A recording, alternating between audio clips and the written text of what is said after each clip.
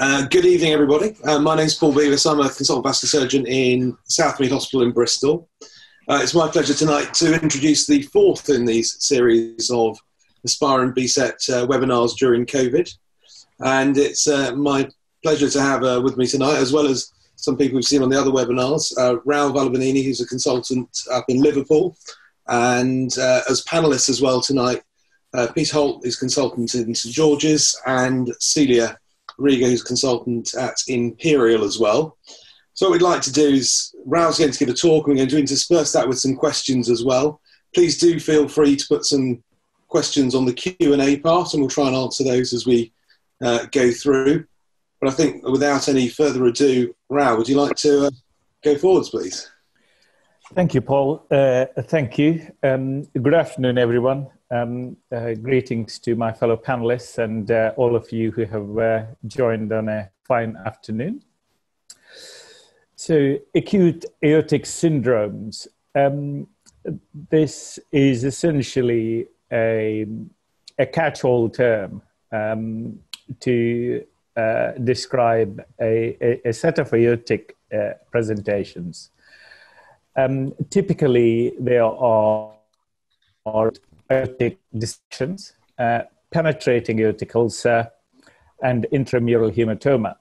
Uh, all of these uh, can be associated with periaortic hematoma, uh, which is another uh, description for rupture.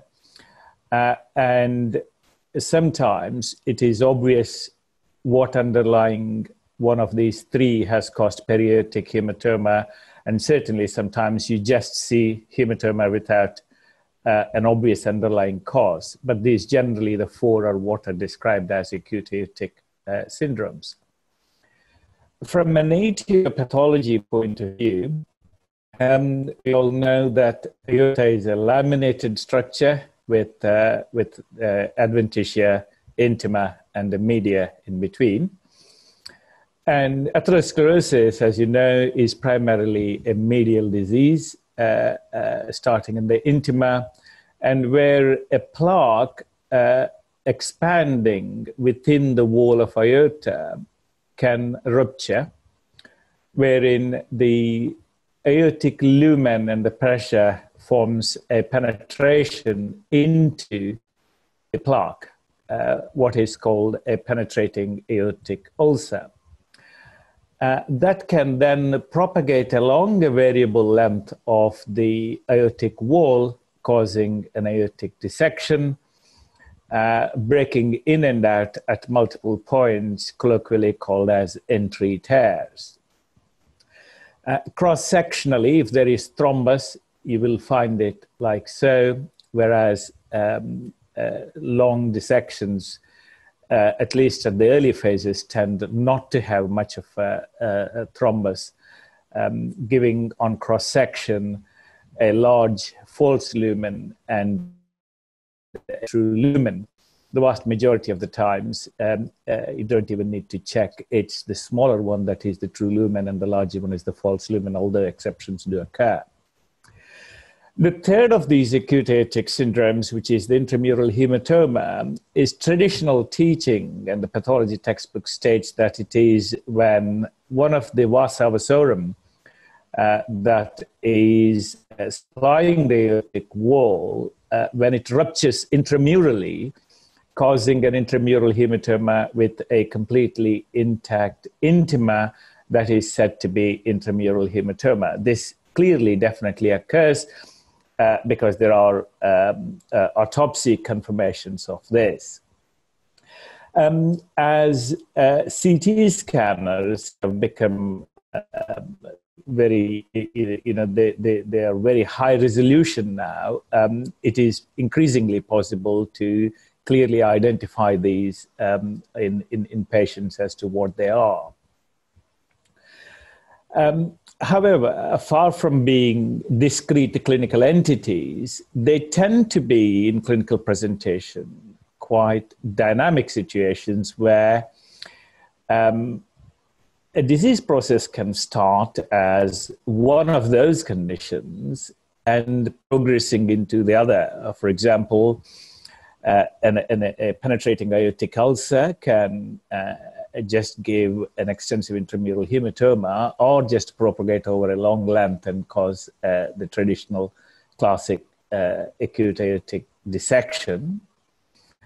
Um, a hematoma, also intramural hematoma, which started with the vasa vasorum rupturing, can also become a, a classic dissection. And it is also believed that atypical presentations, for example, in intramural can rupture intraluminally, uh, know, looking like an aortic uh, ulcer, or a classic dissection can spontaneously thrombose completely, giving the appearance of an intramural hematoma. The general idea is to, to, to, to mention that um, despite some uh, clearly documented and recorded um, uh, distinctions in the etiology and imaging findings, uh, they do occur um, as a, a, spectrum of conditions um, with with kind of uh, some shared features. Um, and the clinical picture can also be dynamic, where a process that started as one condition can progress into another. Um, so that is the background to to acute aortic dissections. Um, so um, how do these present? Clinically, typically, um, uh, the vast majority of them, uh, when they have a clinical feature, they, it's pain, uh, kind of tearing or, or stabbing kind of a pain, interscapular in the back, uh, sometimes in the abdomen, sometimes in the front. Uh, frequently, uh, that can also be um, confused with a, a myocardial infarction. A syncope also is a well known presentation in a small number of people. Um, by causing uh, spinal cord ischemia, extensive acute aortic uh, um, syndromes can cause paraplegia um, or by involvement of the subclavian artery and, and vertebral territory uh, strokes as well. Um, hypertension a commonly seen finding with the vast majority of, of patients uh, with all acute aortic syndromes uh, showing uh, difficult to manage uh, high blood pressure. Uh, paradoxically, it is uh, problems causing hypertension that can cause acute aortic syndromes as well, as exemplified in cocaine use. Um, peripheral vascular complications being the, for example, ischemic leg being the sole presentation of acute aortic syndromes is rather rare, but um, uh, leg ischemia frequently is a, a, a, an accompanying feature of one of these symptoms, um, uh, which, when present, helpfully draws your attention um, uh, and uh, to, to the possibility of an acute aortic dissection. Um, in terms of incidence, um, uh, fortunately, the overall incidence of acute aortic syndromes, particularly the, the, the, most voluminous of them, the acute type B dissections, has gone significantly down in the UK with um, a campaign uh, to identify and treat uh, hypertension early on uh, which is very successfully done with the introduction of quality improvement frameworks for GPs about 20, 25 years ago. Um, uh, but certain parts of United States have seen um, pretty much all of that benefit uh, lost uh, due to increasing use of cocaine use, and in certain urban areas, 90 to 95 percent of um, uh, acute type B dissections that are presenting are actually secondary to cocaine use. Um, uh, certainly, where I work, um, cocaine related uh, vascular and myocardial complications, but type B dissections are somewhat rare. I don't believe they are that common in UK anywhere. Um, so that is the kind of the the initial um, uh, preamble to the uh, etiopathological aspects, just uh, a bird's eye view in the clinical presentation of uh, acute aortic syndromes. Paul, Paul, you're on, on mute. Right, it's um, we find it's a quite a difficult presentation, and there's been quite a push from Bristol because we've had a few missed cases over time in terms of awareness. How do you sort of go about trying to make sure that you pick up all these cases?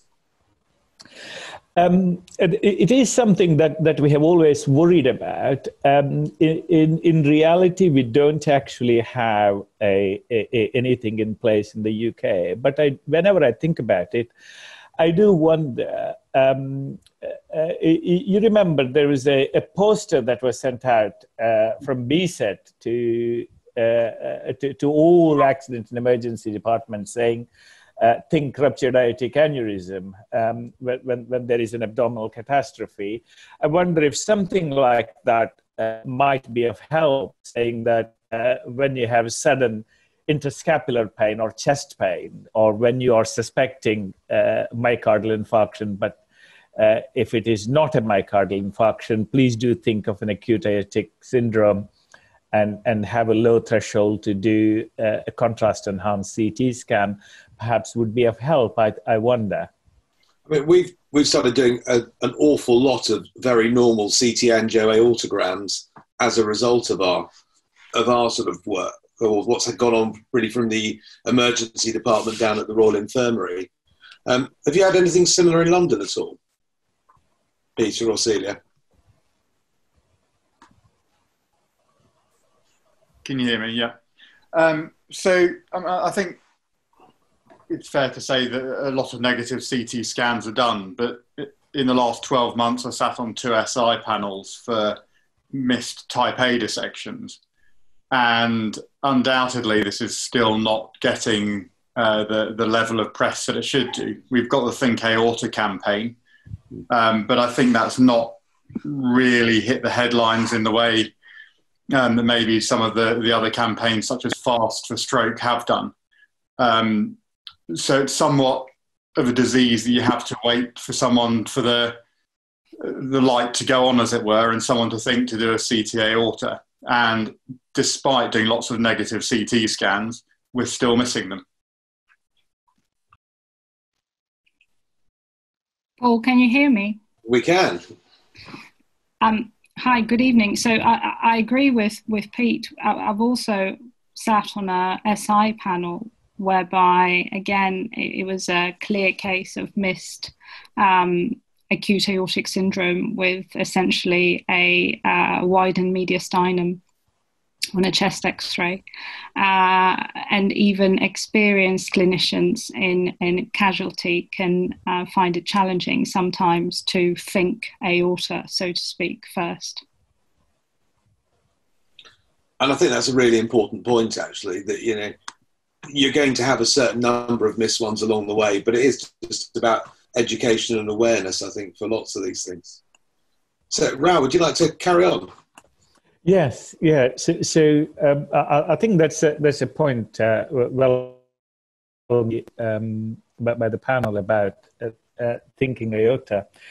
Um, so uh, I, I, would I thought I would start with a a, a simple case. Um, uh, so this is a 76 year old lady who is actually rather frail um, uh, doesn't walk much uh, has multiple comorbidities and um, she had upper gi symptoms and inability to swallow for which she had a peg uh, tube for three months and, and when she could not kind of tolerate that uh, it was removed and she was managing oral fluids and, and, and oral intake.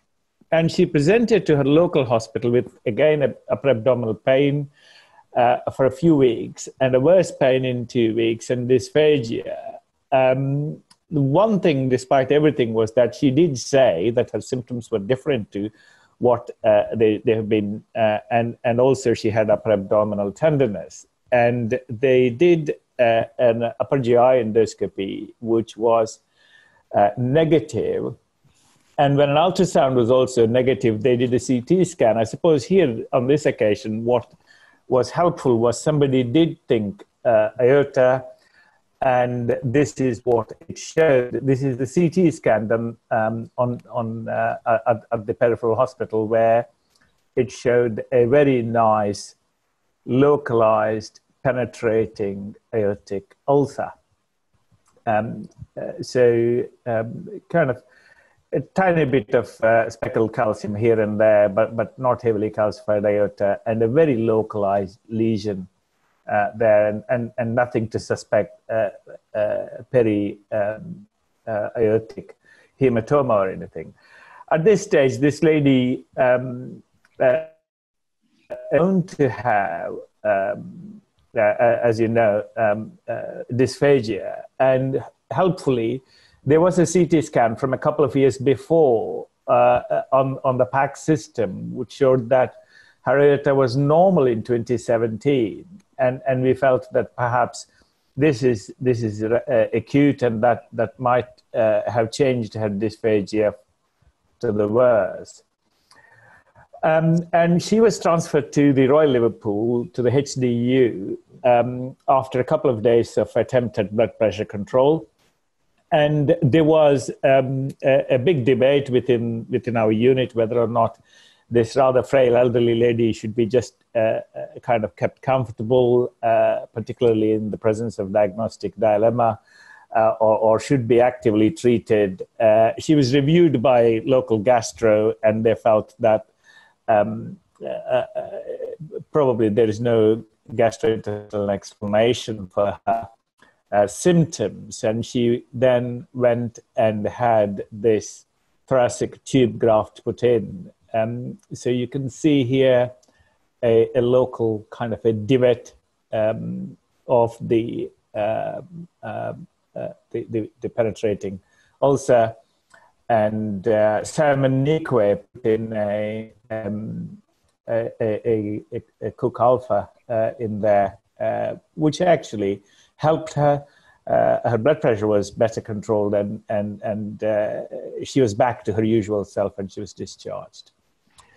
Um, this angiogram kind of uh, shows a couple of things really. It shows the, the various pairs of, of lumbar arteries, which, which kind of uh, we need to keep in mind because uh, in extensive acute aortic syndromes, we lose a lot of these. Um, uh, uh, if this results in loss of perfusion of these, we get paraplegia. If the treatment results in loss of these, we get paraplegia. It's a difficult situation. Um, what's interesting here is um, after the, uh, uh, the, the, the, device has been deployed in the immediate uh, uh completion angiogram, there are still some antegrade perfusion there, which I suspect will be lost uh, the following uh, hours to days. Um, so this, I think, is a a successful management of acute aortic um, uh, penetrating acute, uh, sorry, penetrating aortic ulcer, uh, presenting as an acute aortic syndrome. Um, and, and this is a, a relatively simple presentation and treatment. Um, quite frequently, the length of aortic coverage required is not very much. Um, uh, generally, I'm quite content with uh, putting uh, the smallest, you know, just 15 centimeter pieces as long as I know that can, the, the entry point, uh, and the stent graft uh, fabric is extending on, on both sides of, of the lesion. Um, there is actually another patient on the ward uh, uh currently as I speak who would have either had her, her treatment done today um, uh, or, or if not, it'll be done tomorrow.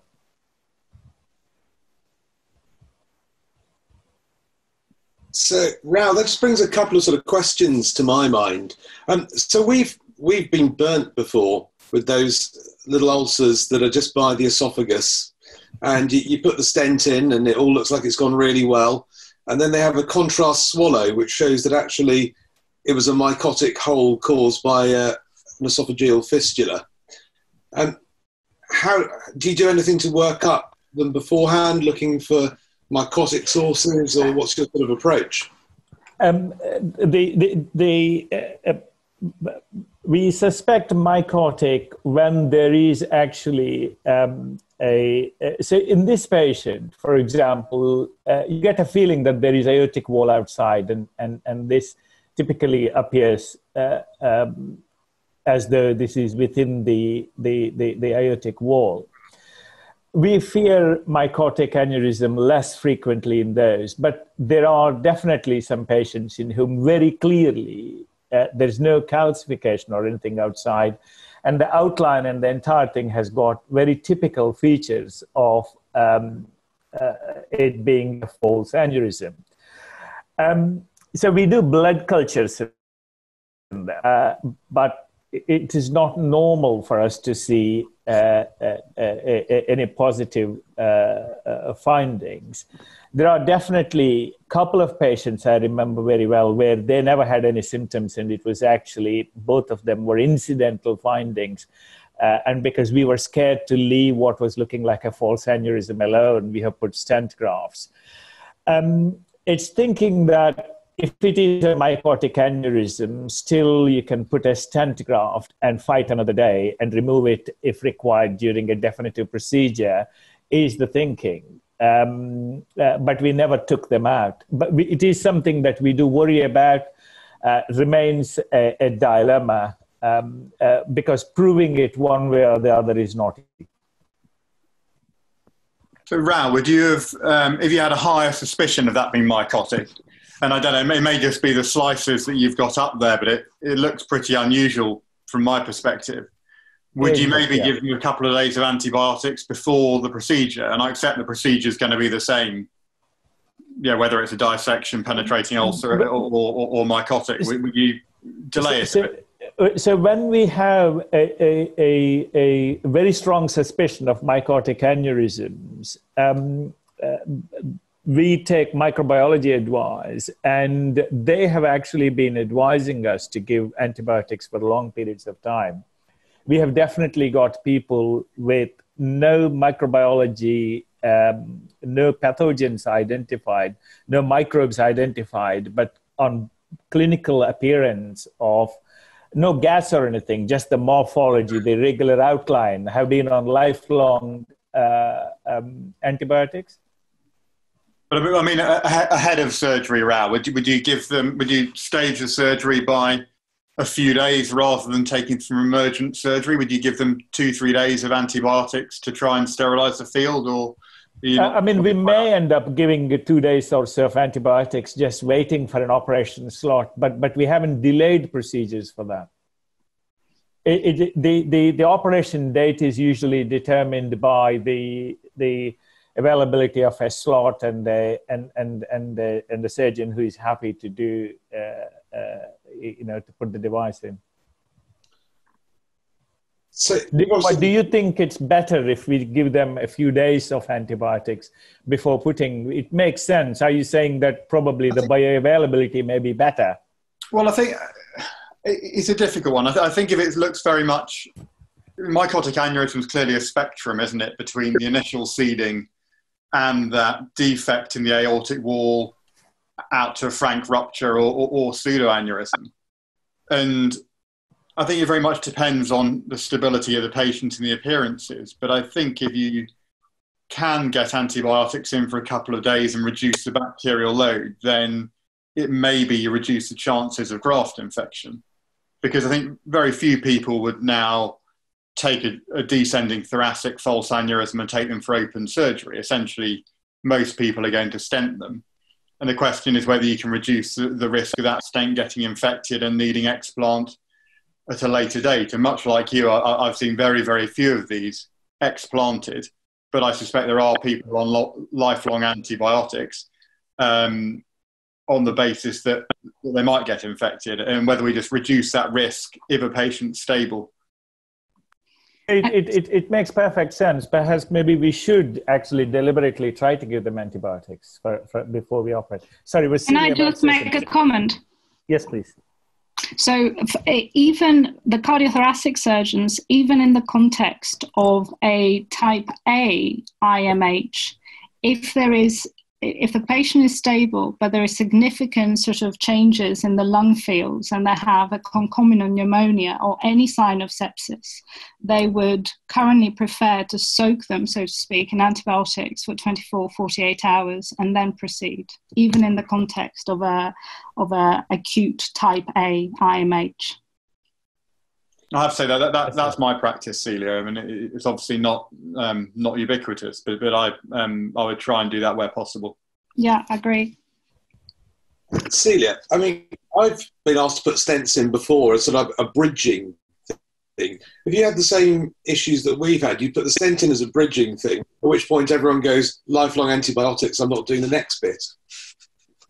So um, it, it, in our practice at Imperial, it, re- it really depends on the patient and the overall clinical picture. over the last two years, for sure, those focal mycotic lesions, if the patient is young and fit, then we would take them uh, for an open repair via thoracolaparotomy, uh, usually on left heart bypass. Depending on the extent of the repair, obviously, if there is a significant sepsis and these patients come in septic, then they don't do very well. Uh, but the ones that are young and fit and have had a period of stabilization do do well. Uh, the patients who are older with comorbidities, we have chosen this temporizing approach of stenting them to get them out of trouble, uh, soak them with antibiotics, usually for life. I would say that in a period of five to 10 years' time, we do see uh, either fistulae or uh, disease progression and endoleaks, and we have to go back. By that stage, the patient is not really fit for an explant.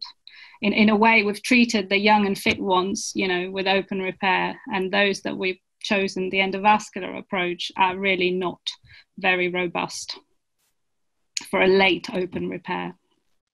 Yeah, I think that sort of fits with lots of people's experience. Uh, Rao, would you like to carry on to your next bit, please? Yes, right. yeah. In our practice, uh, explantation has been relatively um, uh, mainly for fitness. Um, there we are. This is a 72 year old man who presented with uh, high blood pressure and back pain. Um, and the CT showed a, a, a, a somewhat subtle intramural hematoma coming all the way up to the arch there uh, and, and, and going uh, into the uh, descending thoracic segment. So this person, um, we were able to manage him medically, uh, and, and the blood pressure was controlled, and he didn't have any complications, and, and, and he was uh, left alone um, so um, he, he, he did okay. So we don't always do um, uh, uh, stent them. This is another example of a, a type B intramural hematoma starting uh, quite high, close to the left subclavian uh, artery. Um, uh, it, it, th- this is quite a, a, a, an angled uh, slice. As you can see at the bottom, there is probably a, a small uh, divot again. Uh, we still feel that this was uh, a, an intramural hematoma rather than a, thrombosis of a primarily a type B dissection. So this person had continuing symptoms, um, and and the back pain could not be controlled, uh, and so uh, they ended up getting a um, a stent graft, as you can see, um, covering the left subclavian artery, uh, and they did uh, fairly well. Um, and and uh, it, this person is now on on um, uh, surveillance. So, in terms of just to uh, to, to, to kind of summarize treatment of uh, type B intramural hematoma, um, it's a, lot less clear than some of the uh, uh, other syndromes. What do we do?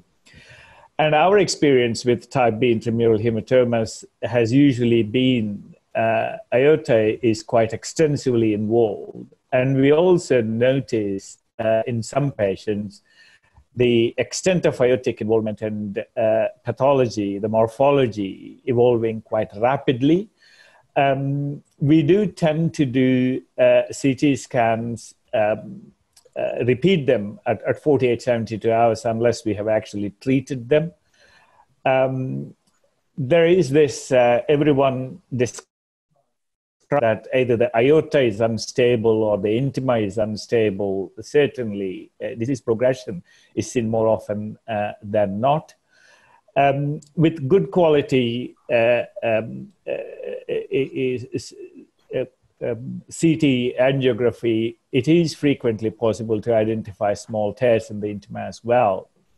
The trouble with them is they can require quite extensive coverage, uh, particularly if you see a, a, an intimal tear, and, and uh, we almost never aim to uh, do a, an endovascular repair that does not cover the, the full extent of the intramural hematoma. Because of the extensive coverage required, there is a high risk of paraplegia, and therefore we like to do those with um, uh, motor evoked potential monitoring uh, in all of those.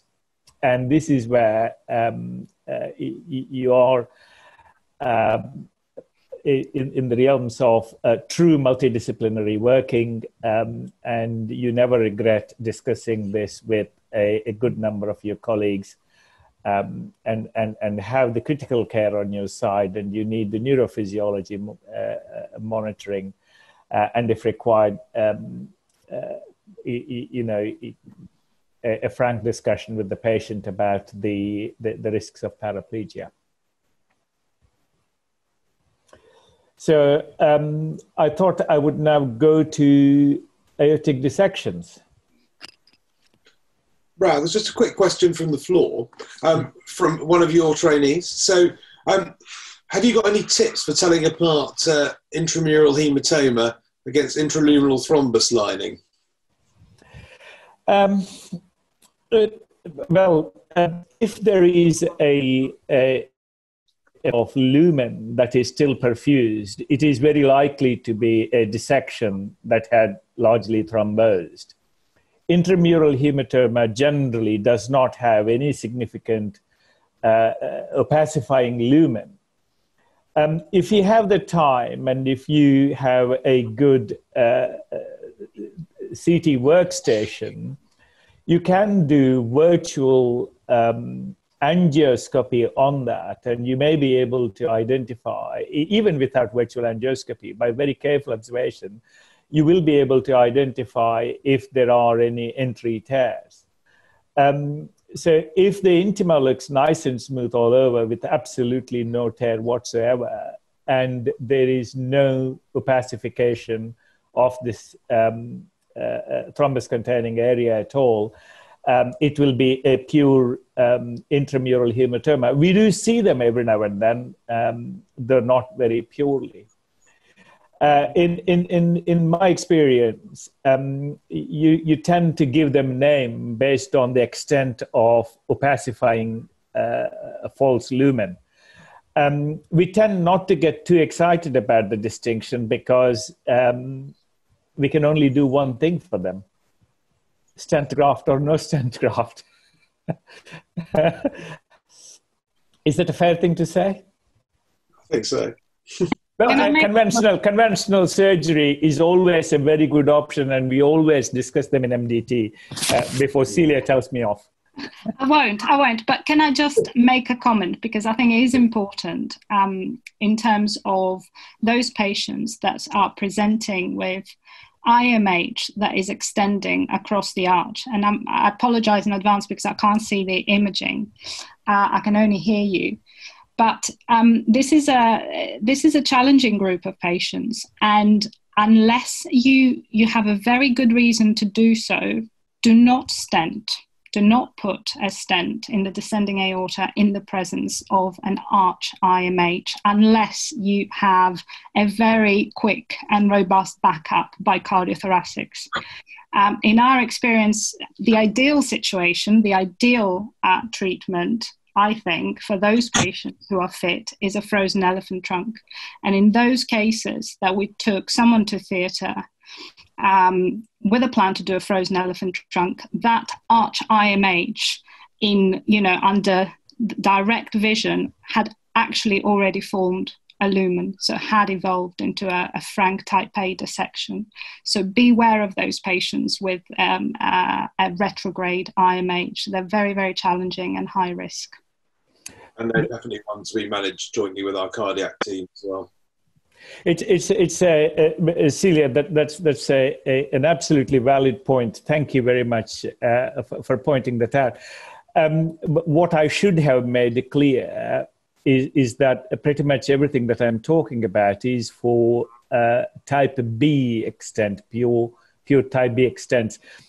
Whether uh, any of these acute aortic syndromes started in the type A area or starts in the in the left subclavian, but then goes centrally beyond, which is traditionally described as a retrograde type A, but but technically is just a type A um, the dangers are are very high. Uh, surgical treatment plays a much bigger role than than endovascular.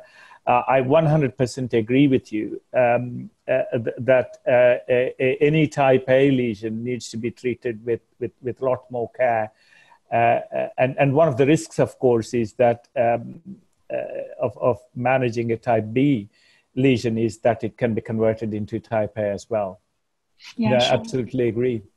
Absolutely agree. Brown, can I ask you where, where your experience with this leaves you in terms of your thoughts on the underlying pathology? As you said, the, the textbooks would tell us that this is a bleed from the vasa vasorum between the adventitia and media.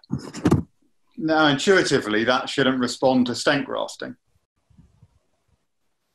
Uh, well, the, the, uh, uh, so the, the reason for stent grafting is because of this um, presumption that the aorta and the intima are unstable, and that there is a risk that this intramural hematoma can rupture internally into the lumen, causing a, a, a turning into a dissection. And hence, um, if you are ever treating an intramural hematoma, we do really want to line the full extent of the intramural hematoma from, from top to bottom, rather than you know treat some of it and leave some of it, in, in which case it won't work. The, the, the trouble there is the small number of patients in whom uh, what looks predominantly a type B dissection extends below the celiac axis wherein the only thing you can put readily there is a petticoat, which does not serve the purpose that I was talking about earlier, which is to prevent a, a, a rupture and conversion into a, a, a dissection. Um, uh, so, um, other than worry and aim to cover the entire um, uh, intima that is associated with the entire aorta that is associated with the intramural hematoma, um, there is not a lot we, we can do. Rao, can I? Rationale for treatment uh, uh, is, is to stop one of the complications. Yes, please, Celia. Just one quick question. So, uh, your stent is deployed, oversize, or by how much? Very little. Uh, very little. Uh, my, my question is sometimes on the first post-operative CT after you've stented the IMH, you do see small, you know, you do see contrast outside of your stent graft. Essentially, you see bleeding within the wall, which is often sort of branded an endo leak. Does it matter?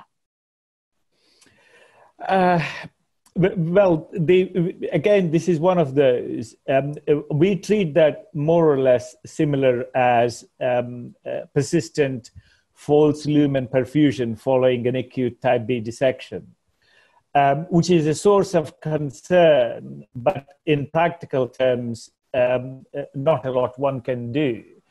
Um, uh, so, so we, we don't particularly necessarily treat it at that particular time. No. Thank you. In, in terms of thinking, the, the worry it causes is exactly the same as a, a persistent um, uh, uh, false lumen perfusion after type B, which is, which is something you'll, of course, see almost always. Yeah, and you hope they will remodel.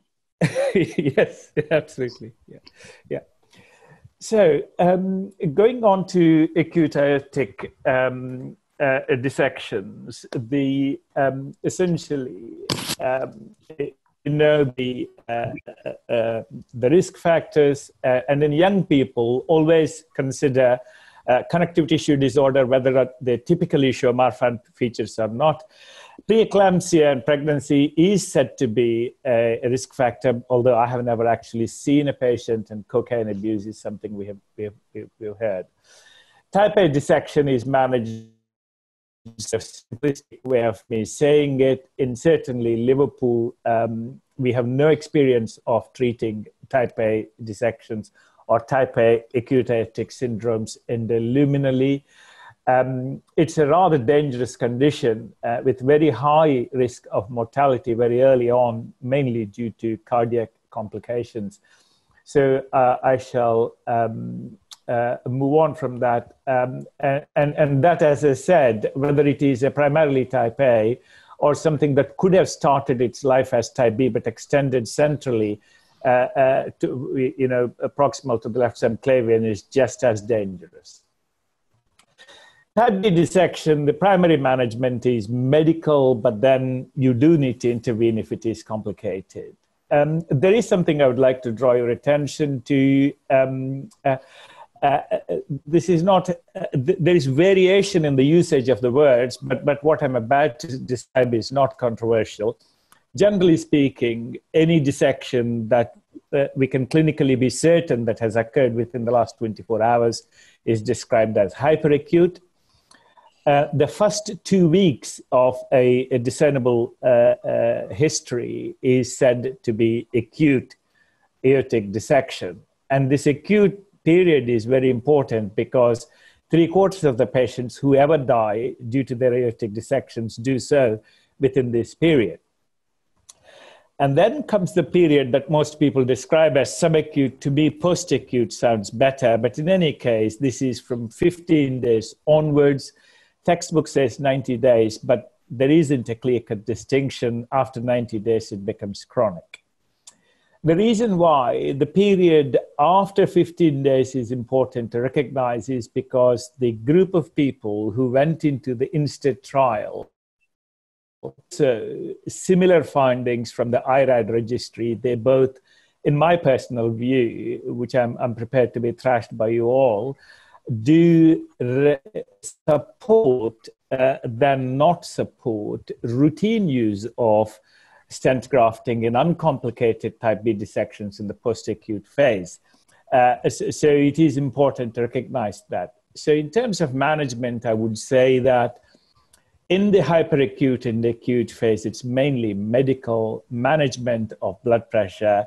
It, in my personal experience, it is never worth trying to control it with one agent. You always need two agents, whether it is labetalol and GTN or sodium nitroprusside and, and labetalol or, or two.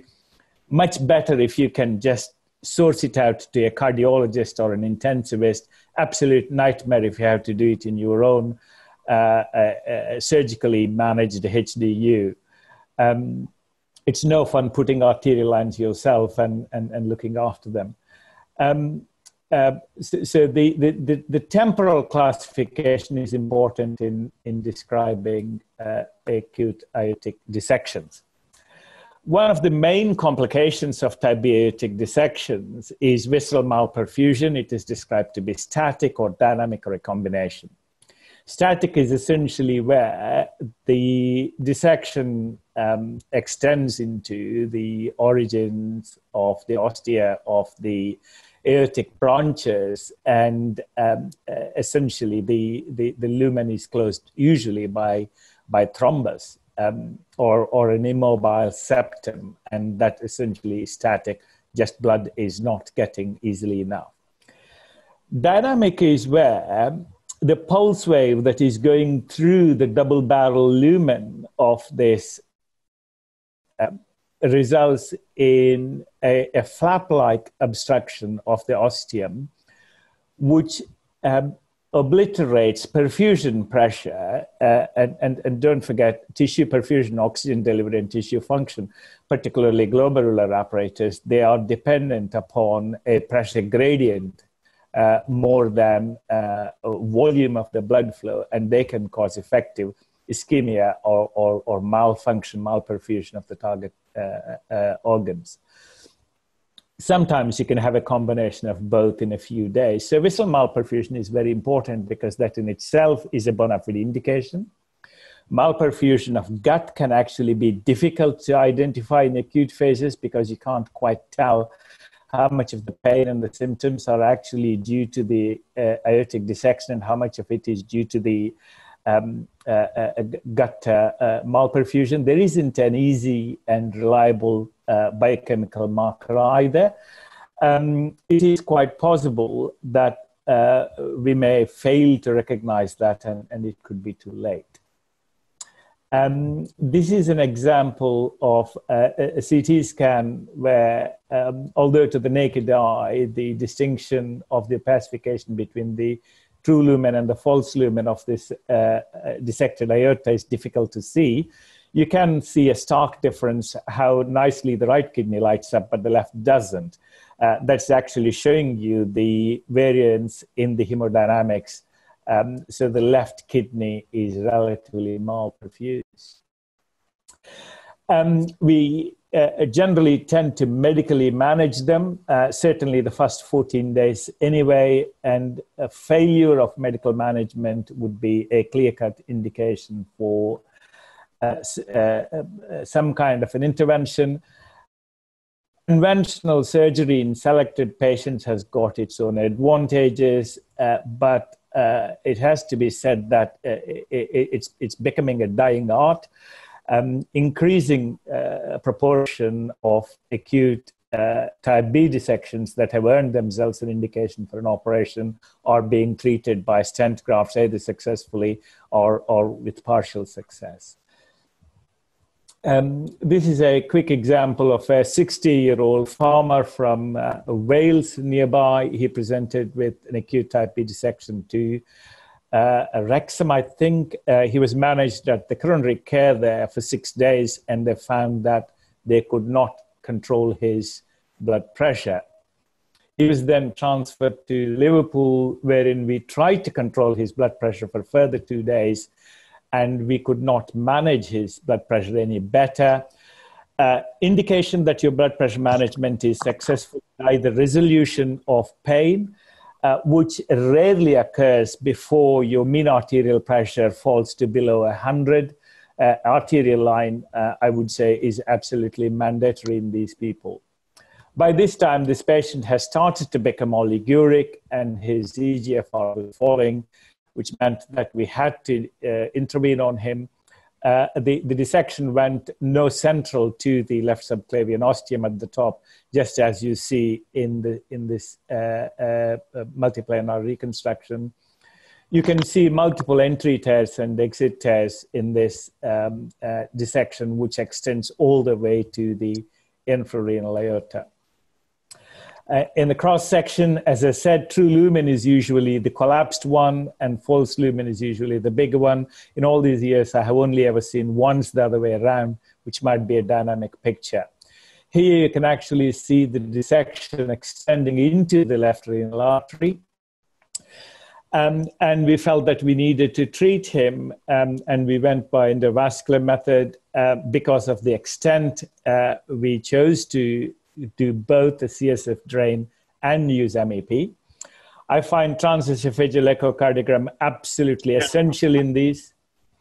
Uh, and and the, the main purpose of transesophageal echocardiography is to tell you whether your wires are in the true lumen or the false lumen. They can come quite low uh, and, and, and show you up to the, uh, uh the, the descending aorta.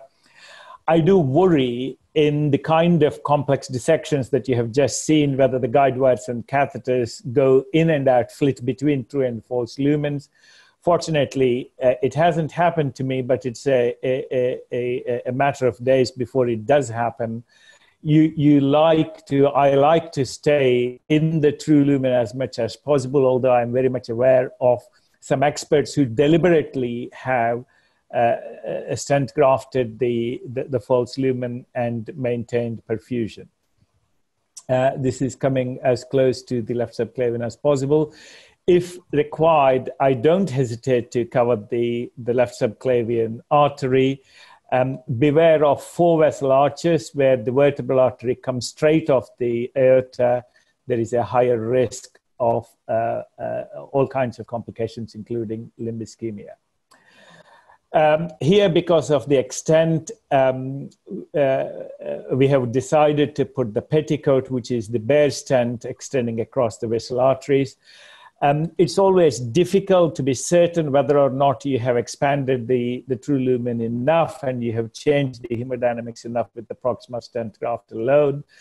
Um, on a couple of occasions, I have cannulated uh, uh, each renal vessel and did pressure traces before and after deploying the, the proximal stent to see if there is enough change in the waveform uh, uh, that, that I don't need to, to put uh, the petticoat in. But in this patient, we decided to put the bare stent across the, the visceral stent, visceral segment anyway. Uh, this patient gradually improved, um, developed pneumonia, but generally he survived and went home. Uh, and his high blood pressure did get uh, controlled. So to, to, to speed up, just to give a few minutes for, for, for discussion, um, uh, the INSTEAD trial, which is a randomized control trial of a small number of patients um, who are at least 15 days after the uh, uh, start of a dissection, uh, w- without any complications, were randomized to stent graft versus uh, medical management. Uh, and INSTEAD trial showed that um, there is a better uh, uh, true lumen expansion and false lumen thrombosis in the stented group compared to the other group, but with similar survival in both of them. But because survival is probably arguably with the most important uh, uh, uh, endpoint here, they did what's called a landmark trial. Essentially, uh, there are various different ways of doing it. What they have done was um, uh, uh, they only took the patients who survived at least two years and then compared them and then found that between two to five years, people who had stent grafts had much better survival than those who did not. Uh, they also reported that when they did uh, uh, a landmark analysis with rejigging the landmark to why survival benefit is shown. Now, there, are, there is a degree of statistical trickery there, and it is not the, the biggest number of patients in there. But generally speaking, the putative mechanism of true lumen expansion and false lumen thrombosis, which is seen broadly from other studies as well, and the general tendencies is that I'm one of those people who generally believe that perhaps uh, stenting uncomplicated type B dissections in the post acute phase might give them better survival than just medically managing them. Uh, but by no means it is a universally held view, and it can be argued to be a controversial view. What that has changed my practice is I have now a lower threshold uh, to, to stent them rather than uh, uh, just go for stenting everybody.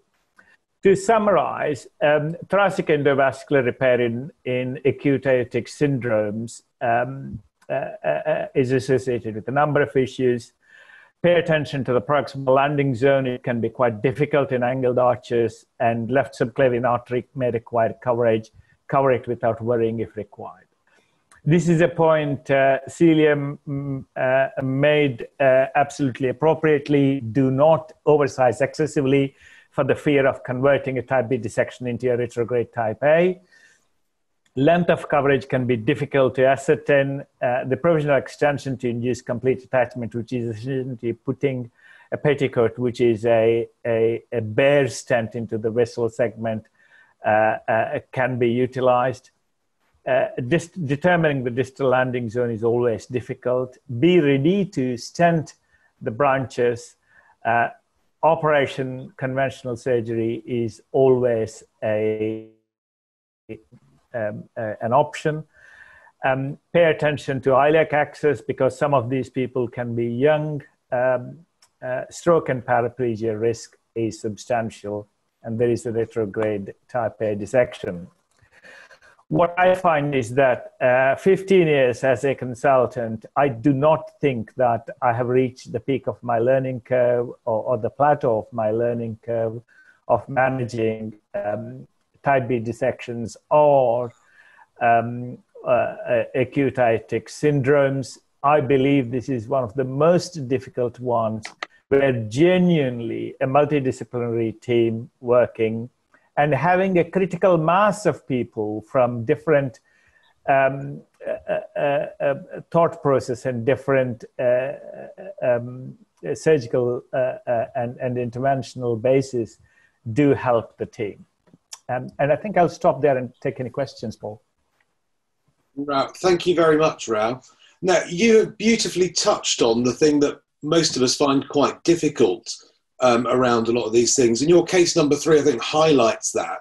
So you've got a patient who's sitting in another hospital for a number of days. Yeah. How do you decide who comes to the Royal Liverpool? You know, is it just resource based? Are there physiological things that make you transfer them? Because I think that's what we all find difficult. Who do we move and when do we move them? Right. The reality is in Liverpool, um, the, the, Liverpool Heart and Chest and, and uh, aortic team and the Royal Liverpool aortic team, we work together as one team but across two sides. We've been talking for the last 15 years, ongoing discussions by the time I got appointed to create a type uh, B uh, dissection service, which we still haven't got. So essentially, uh, either the Liverpool uh, team or the team um, Liverpool Heart and Chest take a telephone call from a referring hospital, and then we make telephone con- uh, uh, calls with each other, discuss the images on the telephone, and then essentially take the patient to wherever there is a bed.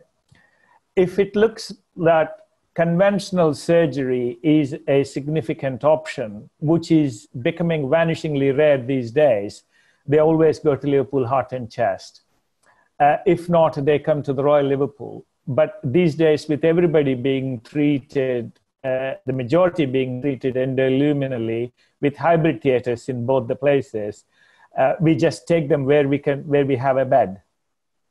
Okay, Celia, what do you, who do you transfer in, and what do you see as a failure of medical management? Um, so I, I think that's probably the most important question for trainees is whenever they take a call uh, regarding an acute aortic syndrome, the first question that they should be thinking about is Is this patient in a place of safety? And is this patient in a place of safety right now? Because within four, six hours, however long it takes you to liaise with radiology, liaise with cardiothoracics, liaise with your boss, uh, potentially uh, it can have devastating complications for that patient. So um, the the um, we would take anybody with a strong uh, clinical presentation of dissection or confirmed radiological findings. And I wouldn't even, you know, wait for them to get an art line or be started on labetalol unless they're in a place where they know what they're doing. So I would say blue light and they need to come across. As soon as they arrive in resus, they need at the bare minimum an arterial line and to start on labetalol. Uh, and then a gas straight away to know what the lactate is, uh, and then closely monitor the, the response. The other, the other thing that I'm going to just briefly mention, because we, we sort of hadn't experienced that until uh, we lost our vascular HDU, is that if you choose to, to manage one of these patients with medical management, they need very strict criteria in terms of um, uh, uh, inotropes and blood pressure parameters.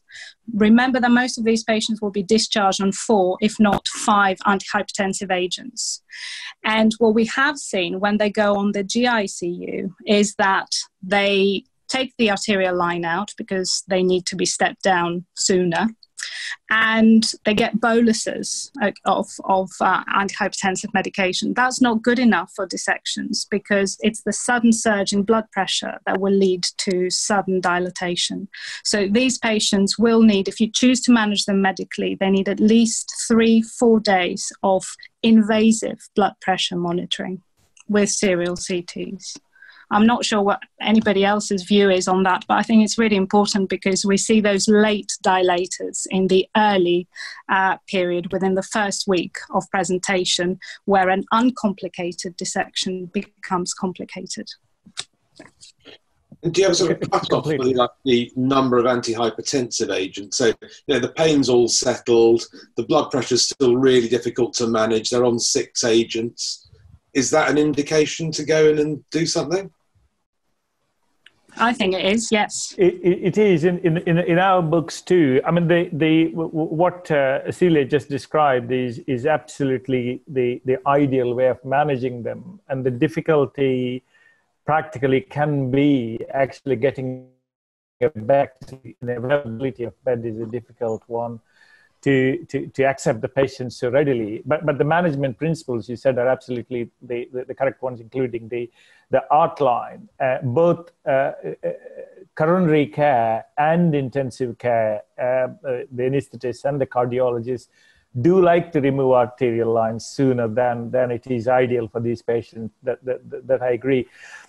Uh, difficult to manage um, hypertension uh, I would consider is an indication for uh, uh, uh, for for stent graft management, and I don't quite know whether it is just the um, uh, the, the, the, renal malperfusion, but generally uh, satisfactorily stent grafting them does reduce their blood pressure.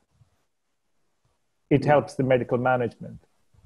And Pete, so you've obviously been quite affected by everything that's been going on. Has that affected how you've managed any of these patients in recent times, or the patients you've seen presenting? Uh, well, the, the, the, most marked thing is they just haven't been presenting at all. So, from our normal rate of, of presentation for for acute type Bs, um, yeah, we, we've had a run in the last couple of weeks, but for um, yeah, for the best part of two months, we, we saw really very few. So I'm not quite sure what's what's been happening to them. Um, probably the same as everything else, just not presenting to hospital or presenting much later. But um, th- there's been quite a big gap of a few months, a couple of months, where, where, there's been very little. And one thing I would say is that we're perhaps more same end as Imperial, that we have a an always accept mentality for these. And I think it's important to get the patients into a into an environment that's very familiar with managing acute type Bs, they are difficult. And perhaps in some of the, the smaller DGHs, they might be tend to be monitored um, by cardiology. And they have a very different treatment algorithm. And I think there's a lot of unmet need out in the community or out in the smaller hospitals of patients who would potentially benefit from treatment, who then either don't get surveillance um, or present with acute problems. And just a question that's come off the question and answer bit, just for out of interest. What do you do if someone's got a contrast allergy for these? Give them steroids and give them contrast. well, um, so, Rao, you talked about you know cover the left subclavian with impunity. As a, I did two in a row, and one ended up with arm ischemia and one with spinal cord uh, symptoms that then both responded to having a secondary carotid subclavian bypass. Is that always your policy to cover with impunity and then deal with afterwards? Uh, yes. Um, so, with elective operations, um, we, we have done um, translocation of the of the subclavian artery, which I find kind of quite scary. Um, uh, and and after doing uh, three or four some time ago, uh, if required, I just do a, a carotid subclavian bypass rather than translocation for the fear of losing control of the stump from the top. Um, uh, but, but in, in emergency situations, I always cover both in you know trauma situation like a, a blunt aortic injury or these fortunately, uh, uh, I myself never had ischemic problems. However, there is a patient who had a, a, a, a an fistula who actually unfortunately died, who had a left subclavian covered last week, who had a terribly ischemic arm. And our interpretation of what has happened there was that he probably had some antegrade blood flow still through the subclavian, but sluggish, formed thrombus in the stump, which embolized into the forearm and caused ischemia. And I think left subclavian artery coverage is extremely well tolerated. You've got very good anastomosis around the scapula. Uh, and, and, and vertebral artery, if it's a normal vertebral artery takeoff, actually gives you know, very good collaterals. So I don't think hemodynamically just obstructing the left subclavian alone gives a troublesome uh, arm-threatening ischemia frequently. They may get arm, you know, exercise intolerance. I, I think um, I, would second that, Rao. In an acute situation like this, the, the evidence really for posterior circulation, stroke, and so on around left subclavian coverage is very much in the aneurysm group and far less in these acute aortic syndromes. And I, again, would, would if necessary, go from the, the left carotid down and then re- revascularize if necessary. Yeah, I agree. They rarely get any arm symptoms, they may claudicate, but then that tends to get better. Um, the main indication to do a carotid subclavian would be actually stroke prevention. But uh, yeah, C- certainly ruined my colleague's boxing day when the arm was properly ischemic. Um, so, what do you all do for your sort of routine surveillance when the patients present to your present to your hospital? Do you have a pretty standard separation of CT scans to follow these people through? Do you want to start, Celia? Um, we yes, we normally we usually say repeat the CT in 48 hours, um, and uh, we try to avoid treatment by irradiation. And once you have the third CT scan that shows new pleural effusions, sort of dirty aorta, or frank uh, expansion, then you, you, have to bite the bullet and treat them. Uh, and it's all a balance of risk, depending on the extent, what vessels you're going to have to cover, etc. But um, usually it's 48 hours. In Liverpool, uh, pretty much all of my colleagues would like an early uh, um, uh, uh, CT scan, um, you know, flexibly, uh, but definitely before discharge. Um, with the exception of me, who avoid um, a CT scan if the clinical course is satisfactory. Um, and I do a one month CT and then annual one. Um, it, it never looks pretty with you know uh, immediate CT scan. It's very rare. You know, it is uh, uh, you know uh, perfect in every sense. Um, and uh, if, I, I, would like to be guided by by clinical picture, uh, but but that is not not the usual practice. Most people like an early CT.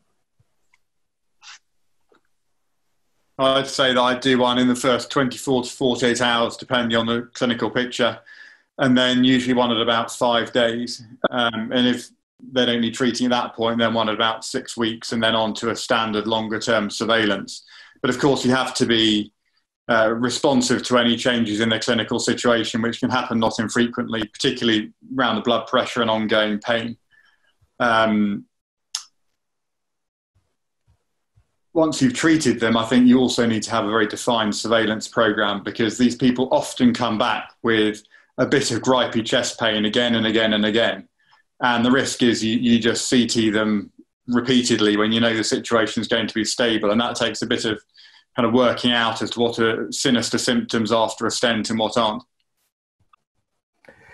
Yes, I mean, in terms of uh, penetrating aortic ulcers and intramural hematomas, some people, fortunately, you may be able to discontinue or at least verify the, the surveillance intervals. But in type B dissections, almost always we leave some problem behind, uh, particularly in the infrarenal segments where there is a, a, a risk of dilatation, formation of complex aneurysm disease, etc. So those are the people who definitely require uh, uh, you know, a structured surveillance for the rest of their life. The only thing to mention here is for those patients that have been treated successfully treated and you have good evidence of um, aortic remodeling, you can move on to MR surveillance. And, and we would do that as, as soon as possible, actually, especially for the younger patients. Yeah, we certainly do that as well. Um, so we've gone through lots of stuff. I think we've got to have just one more question and then I think everyone will want to uh, run away. But uh, just one last question from Patrick. Um, so looking to the future, is endovascular therapy for type A going to come online, or should we leave it with the cardiac surgeons for now? What do you think? Uh, well, the, the, the, the technical uh, um, uh, aspects for, for, for, for that, they, they're, they're obviously quite complex. I think we need to see um, a, an endo-Bentall uh, successfully done on an elective patient uh, on a non-acute dissection patient. Uh, that as a technique, once that is perfected, that is the time to start thinking about uh, uh treating acute aortic syndromes by endoluminal. Uh, uh, until then, um, I'm afraid we need to leave that for, for, surgeons. That's my personal view. I say it's bound to come. Um, having treated a type A dissection endovascularly, it went very well you know, it's very, very selected cases. There's about you know, 20 in the literature, but um, it will come. Of course, it will come. It, it may may require treatment with a stent hanging off a TAVI or, or something similar to that, but um, it, will happen. I think from a sort of hemodynamic and mechanical perspective, the arch currently is very, very hostile, very, very unfavorable for the currently available devices. And uh, it needs a definitive repair, which is why I think the frozen elephant trunk is, is the best of both worlds for, for the time being. Um, of course, it's going to be minimally invasive in the future, but it may need a significant modification of what we currently call, you know, a stent graft or a tube graft in terms of the engineering solutions. Brilliant. So I think it's sort of drawing to time that uh, we've come to a close. I'd like to say thank you very much uh, to the panelists and to Rao for his talk. And we've obviously covered some of uh, dissection and acute aortic syndrome, but I think it's it's quite clear that uh, you know you can spend a lot of time discussing it, and I'm not sure there's ever a perfect answer for some of these patients, and I think you have to all work together pretty closely to manage these difficult patients, uh, uh you know, in the best way possible. Uh, so hopefully everyone's enjoyed that, and we hope to see you back next Monday. Thank you very much. Right. Thank you, Paul.